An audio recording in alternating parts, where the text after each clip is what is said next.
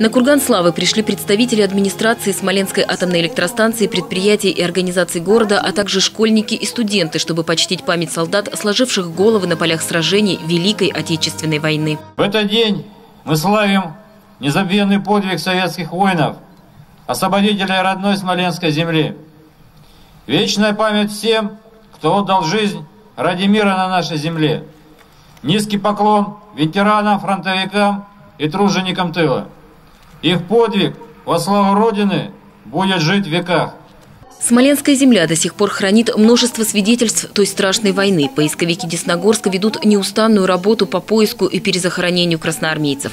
Но самое главное – восстановлению их имен. К сожалению, многие так и остаются безвестными. Этот э, день у нас, смолян, навечно останется в памяти. Надо помнить всегда о том, что сделали то поколение для нас – с праздником всех. Спасибо.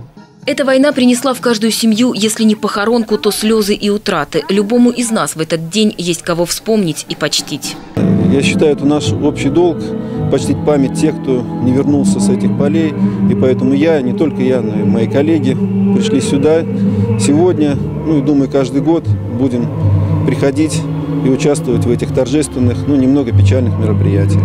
Для меня это прежде всего день памяти и благодарности тем людям, которые, не жалея себя, не жалея своих сил, не жалея своего здоровья, проявили много усилий для того, чтобы наша земля, наша Россия, наша Смоленщина была свободна. По традиции десногорцы в этот день возложили цветы и венки к могилам павших воинов. И пусть бои уже отшумели, и над нашей Родиной чистое небо, но война не закончена до тех пор, пока не захоронен последний погибший солдат.